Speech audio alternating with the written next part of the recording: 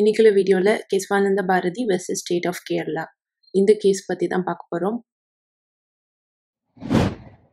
Hey everyone welcome to பிரீத்திலா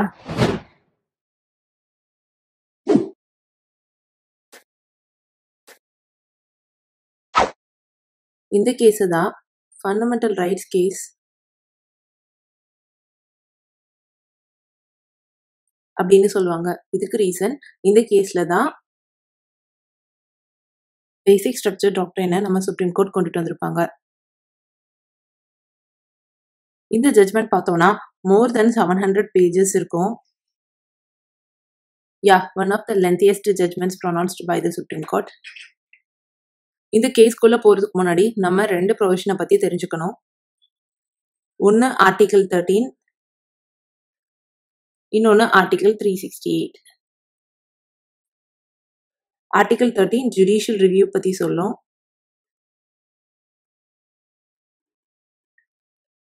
Article three sixty eight amendment of the constitution அதாவது parliament power to amend the constitution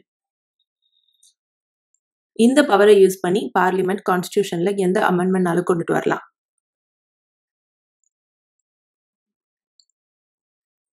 இப்போ parliament கொண்டுட்டு வர loss ஏதாவது fundamental ரைட்ஸை violate பண்ணுச்சுன்னு சொன்னா அந்த particular லாவை unconstitutional அப்படின்னு சொல்ற பவர் தான் ஆர்டிகிள் தேர்ட்டீன் இந்த power vest with supreme court so இந்த சைடில் பார்த்தோம்னா ஜுடிஷியரி இந்த சைடில் பார்த்தோன்னா பார்லிமெண்ட் இவங்க மக்களால் ஓட் பண்ணி செலக்ட் பண்ணப்பட்டவங்க. இவங்க மக்களுக்காண்டி லாஸ் எனக்ட் பண்ணுவாங்க. ஆனா இவங்க எனக்ட் பண்ற லாஸ் எல்லா டைமும் மக்களுக்கு சரியா இருக்கிறது இல்ல. ஃபார் எக்ஸாம்பிள் நம்ம லேண்ட் லாஸ் எடுத்துக்கலாம். லேண்ட் ரிஃபர்மேஷன் பண்றதுக்காண்டி பார்லிமெண்ட் நிறைய லேண்ட் லாஸ் கொண்டுட்டு வந்தாங்க. இது மூலமா பிரைவேட் பர்சனுடைய லேண்ட் எல்லாம் நிறைய கவர்மெண்ட் வாங்கினாங்க. ஸோ இது மூலமா அந்த பிரைவேட் பர்சனுடைய ஃபண்டமெண்டல் ரைட் வயலேட் ஆயிடுச்சுல ஸோ அவங்க டைரெக்டாக சுப்ரீம் கோர்ட்டை அப்ரோச் பண்ணாங்க. நான் இந்திய நாட்டோட சிட்டிசன் எனக்கு கான்ஸ்டியூஷன் நிறைய ஃபண்டமெண்டல் ரைட்ஸ் தந்திருக்காங்க. பட் கவர்மெண்ட் அவங்க இஷ்டத்துக்கு லாஸ் கொண்டுட்டு வந்து என்னுடைய லேண்டை பிடுங்கிக்கிறாங்க. ஸோ இதனால என்னுடைய ஃபண்டமெண்டல் ரைட் இன்ஃப்ளூன்ஸ் பண்ணப்படுது. அப்படின்னு அவங்க கோர்ட்டு கிட்ட போறாங்க. ஸோ கோர்ட் உடனே என்ன பண்ணும்? கவர்மெண்ட் கிட்ட கொஸ்டின் கேட்கும் நீங்க ஏன் இந்த மாதிரி ஃபண்டமெண்டல் ரைட்டை இன்ஃப்ளூன்ஸ் பண்றீங்க? அப்படின்னு. ஸோ இதுக்கு பார்லிமெண்ட் என்ன சொல்றாங்க? நம்ம இப்போ வெல்ஃபேர் ஸ்டேட்ல இருக்கோம். இங்க எல்லா மக்களுடைய வெல்ஃபேருமே இம்பார்ட்டன்ட் எங்களுக்கு. ஃபார் எக்ஸாம்பிள் இப்போ இந்த லேண்ட் லாஸை எடுத்துக்கிட்டோம்னு சொன்னா லேண்ட் எல்லாம் அன்இவனா டிஸ்ட்ரிபியூட் ஆகியிருக்கு. ஒரு சைட்ல பார்த்தோம்னா லேண்டை கல்டிவேட்டே செய்ய மாட்டாங்க. ஆனா அவங்க கையில நிறைய லேண்ட் இருக்கு. இன்னொரு சைட்ல பார்த்தோம்னா லேண்டை கல்டிவேட் பண்றது அவங்களா தான் இருப்பாங்க. ஆனா அவங்க கிட்ட எந்த லேண்ட் ஓனர்ஷிப்புமே இருக்காது. இந்த டைம்ல கொண்டுட்டு வந்த கான்செப்ட் தான் உள்பவனுக்கு நிலம் சொந்தம். அதாவது லேண்டை யார் கல்டிவேட் பண்றாங்களோ அவங்களுக்கு தான் அந்த லேண்டோட ஓனர்ஷிப் இருக்கணும் அப்படின்னு சொல்றதுதான் இந்த கான்செப்ட் இதெல்லாம் லேண்ட் ரிஃபர்மேஷன் கொண்டுட்டு வந்ததுனால உருவான கான்செப்ட்ஸ் ஸோ கவர்மெண்ட் சொல்றாங்க இந்த மாதிரி லேண்டை யார் கல்டிவேட் பண்றாங்களோ அவங்களுக்கே நிறைய லேண்ட் ஓனர்ஷிப் இருக்கணும் அப்படின்றதுக்காண்டி நாங்கள் இந்த லேண்ட் ரிஃபர்மேஷன் எல்லாம் கொண்டுட்டு வரோம் ஸோ இதனால சில இண்டிவிஜுவல்ஸ்க்கு அவங்களுடைய ஃபண்டமெண்டல் ரைட்ஸ் வயலேட் ஆக சான்சஸ் இருக்குதா? இருந்தாலும் நாங்க இதை செஞ்சே ஆகணும். சில பேருடைய கஷ்டங்கள் இருந்தாலும் சரி நிறைய பேருக்கு வெல்ஃபேர் கிடைக்கணும்னு சொன்னா நாங்க இதை செஞ்சுதான் ஆகணும் அப்படின்னு கவர்மெண்ட் சைட்ல இருந்து சொல்லிடுவாங்க அப்போ சுப்ரீம் கோர்ட் முன்னாடி கொஸ்டின் வருது. பார்லிமெண்ட் நினைச்சோன்னு சொன்னா எவ்வளோ அமெண்ட்மெண்ட்னாலும் செஞ்சுக்கலாமா? எந்த அமெண்ட்மெண்ட்னாலும் அவங்களுக்கு கொண்டுட்டு வந்துக்கலாமா? எந்த லாஸையும் அவங்க அமெண்ட்மெண்ட் பண்ணிக்கலாமா? அவங்களுடைய அமெண்ட்மெண்ட்டுக்கு எந்த லிமிடேஷனும் கிடையாதா? இந்த மாதிரி எல்லாம் நிறைய கொஸ்டின்ஸ் ஜுடிஷியரி முன்னாடி வருது. இப்படி ரெண்டு பேத்துக்கும் சண்டை வரும்போது ஜுடிஷியரி பெருசா இல்ல பார்லிமெண்ட் பெருசா அப்படின்ற மாதிரி ஆகிருது. இந்த கொஸ்டினுக்கு எல்லாம் ஆன்சர் சொல்லதுக்கு கொண்டுட்டு வரப்பட்டது தான் பேசிக் ஸ்ட்ரக்சர் டாக்டரைன் இது கொண்டுட்டு வரப்பட்ட கேஸ் தான் Kesavananda Bharati versus state of Kerala இதை பத்தி நம்ம பார்ப்போம் சுவாமி ஸ்ரீ கேஸ்வானந்த பாரதி.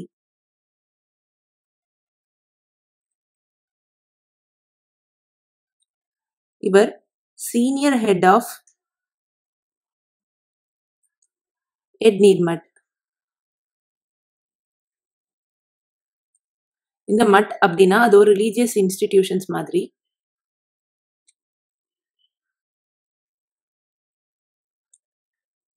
ஸோ இந்த மட்டில் நிறைய லேண்ட் ப்ராப்பர்ட்டிஸ் அவங்க ஹோல்ட் பண்ணியிருப்பாங்க ஸோ இந்த மாதிரி அவங்க நிறைய லேண்ட்ஸ் வச்சிருப்பாங்க.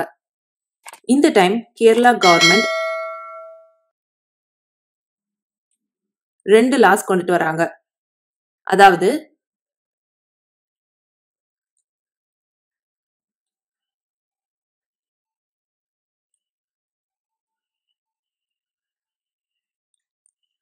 இந்த லாஸ்ட்ல ரெண்டு அமெண்ட்மெண்ட் கொண்டுட்டு வராங்க. ஒன் இந்த இயர் நைன்டீன் சிக்ஸ்டி நைன் இன்னொன்று இந்த இயர் நைன்டீன் செவன்டி ஒன் இதுல கொண்டுட்டு வரப்பட்ட இந்த ரெண்டு அமெண்ட்மெண்ட்ஸ் மூலமா இவங்க ஹோல்ட் பண்ணியிருந்த அவ்வளோ லேண்ட்ஸுமே கவர்மெண்ட் எடுத்துக்குது. இதோடைய எல்லா அட்மினிஸ்ட்ரேஷனும் கவர்மெண்ட் கிட்ட போயிருது. அதை தான் இவர் இந்த கேஸ்ல சேலஞ்ச் பண்றாரு. எப்படி சொல்ல வர்றாருன்னா அவருடைய article twenty six right violate ஆகுது அப்படின்னு சொல்றாரு. ஆர்டிகிள் டுவெண்ட்டி சிக்ஸ் என்ன சொல்லுது?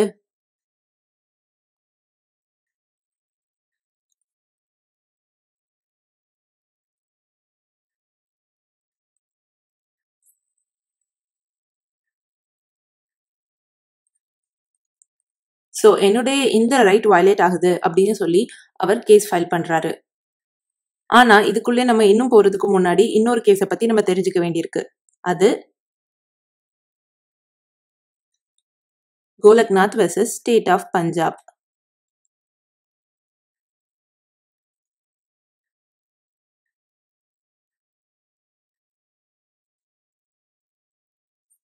so இப்போ இந்த கேஸை பற்றி பார்க்கலாம். ஏன்னா இந்த கேஸோடைய கண்டினியூஷன் தான் அந்த கேஸாக இருக்கும். ஸோ இந்த கேஸில் கோர்ட் என்ன சொல்லியிருந்தாங்க அப்படின்னு தெரிஞ்சுட்டு தான் அந்த கேஸ்க்குள்ளே நம்ம போகிறதுக்கு முடியும். So Golaknath versus state of Punjab கேஸில் கோர்ட் சொல்லியிருப்பாங்க ஃபண்டமெண்டல் ரைட்ஸை பார்லிமெண்ட் இன்ஃப்ரிஞ்ச் பண்ணக்கூடாது அப்படின்னு சொல்லியிருப்பாங்க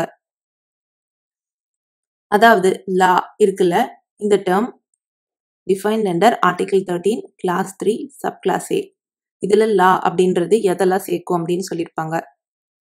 ஸோ இந்த கேஸ்ல சொல்றாங்க லா அப்படின்றது கான்ஸ்டியூஷனல் அமெண்ட்மெண்ட்டையும் சேர்க்கும். ஸோ பார்லிமெண்ட் ஏதாவது கான்ஸ்டியூஷனல் அமெண்ட்மெண்ட் கொண்டுட்டு வந்து அது ஃபண்டமெண்டல் ரைட்டை இன்ஃப்ரிஞ்ச் பண்ணுச்சு அப்படின்னா ஜுடிஷியரி கண்டிப்பாக அதை ரிவ்யூ பண்ணும். அண்ட் அது உண்மையிலேயே ஃபண்டமெண்டல் ரைட்ஸை வயலேட் பண்ணும்போது கண்டிப்பாக அந்த கான்ஸ்டியூஷனல் அமெண்ட்மெண்ட் கூட அன்கான்ஸ்டியூஷனல் அப்படின்னு டிக்ளேர் பண்ணப்படும் அப்படின்னு சொல்லிடுறாங்க. ஸோ இந்த மாதிரி சுப்ரீம் கோர்ட் சொன்னதுனால பார்லிமெண்ட் இதுல சொன்னது எல்லாத்தையும் ஓவர் ரூல் பண்றதுக்காண்டி சில அமெண்ட்மெண்ட்ஸ் கொண்டுட்டு வராங்க. அந்த அமெண்ட்மெண்ட்ஸ் என்னதுன்னா twenty fourth constitutional amendment act of nineteen seventy one இது மூலமா ஆர்டிகிள் தேர்ட்டீன்ல புது கிளாஸ் இன்சர்ட் பண்றாங்க. கிளாஸ் ஃபோர் இதுல சொல்றாங்க பார்லிமெண்ட் நினைச்சேன்னு சொன்னா கான்ஸ்டியூஷன்ல எந்த அமெண்ட்மெண்ட்னாலும் கொண்டுட்டு வரலாம். அதை ஜுடிஷியரி ரிவ்யூ பண்ண முடியாது அப்படின்னு சொல்லிடுறாங்க. அண்ட் சப்ஜிக்வெண்ட்டாக இதுக்கு ரிலேட்டடாக ஆர்டிகிள் த்ரீ சிக்ஸ்டி எயிட்டில் இன்னொரு கிளாஸ் இன்சர்ட் பண்றாங்க. அண்ட் இதுலயும் இதை தான் சொல்றாங்க ஜுடிஷியரி பார்லிமெண்ட்குள்ள லா அமெண்டிங் பவரில் அதாவது கான்ஸ்டியூஷன் அமெண்ட் பண்ணுற பவர்க்குள்ள இன்டர்ஃபியர் ஆகக்கூடாது அப்படின்னு சொல்லிடுறாங்க. அண்ட் இது கூட twenty fifth amendment act and twenty ninth amendment act கொண்டுட்டு வந்திருப்பாங்க போத் இந்த இயர் நைன்டீன் செவன்டி டூ அப்புறம் லேண்ட் லாஸ் எல்லாம் இருக்குல்ல? இதை எல்லாத்தையும் நைன்த் ஷெட்யூல்ல இன்சர்ட் பண்றாங்க. இப்படி அவங்க இன்சர்ட் பண்றதுடைய காரணம் என்ன அப்படின்னா இதுக்குள்ள இன்சர்ட் பண்ணிட்டான்னு சொன்னா ஜுடிஷியரி அதை ரிவ்யூ பண்ணக்கூடாது. ஜுடிஷியரி அது கீழே இருக்கிற லாஸ் எதையும் ஃபண்டமெண்டல் ரைட் வயலேட் பண்ணுதா வயலேட் பண்ணலையா இந்த மாதிரி எந்த விஷயத்தையும் பண்ணக்கூடாது. அப்படின்னு செய்யக்கூடாதுன்னு தான் இப்படி செய்யறாங்க இப்போ பார்த்தோம்னு சொன்னால் Golaknath versus state of Punjab case decided in the year nineteen sixty seven இதில் லெவன் ஜட்ஜஸ் டிசைட் பண்ணியிருப்பாங்க இப்போ Kesavananda Bharati versus state of Kerala கேஸ்குள்ளே பார்க்கலாம். ஸோ இந்த கேஸில் கேஸ்வானந்த பாரதி எதை சேலஞ்ச் பண்ணாருன்னு நம்மளுக்கு தெரிஞ்சிட்டு இல்லை. இந்த கேஸில் கோர்ட் என்ன சொல்லியிருக்காங்க அதுதான் ரொம்ப இம்பார்ட்டண்ட் கோர்ட் இந்த கேஸில் பேசிக் ஸ்ட்ரக்சர் டாக்டர் என்ன சொல்லியிருப்பாங்க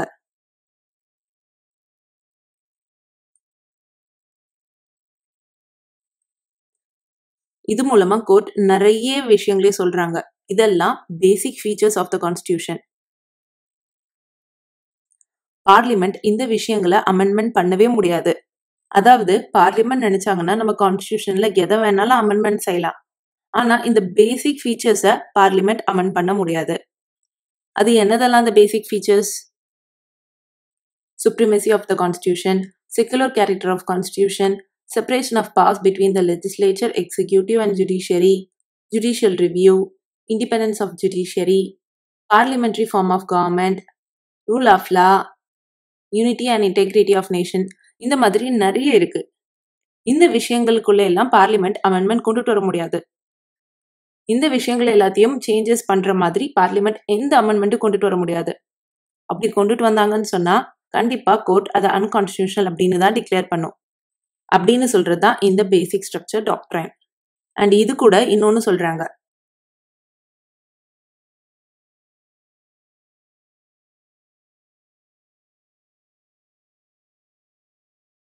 இந்த கேஸ்ல சொல்றாங்க ப்ரியாம்பிள் இருக்குல்ல நம்மளுடைய கான்ஸ்டியூஷன்ல அது part of the Indian constitution preamble அப்படின்றது தனியா ரீட் பண்ணக்கூடிய விஷயம் கிடையாது.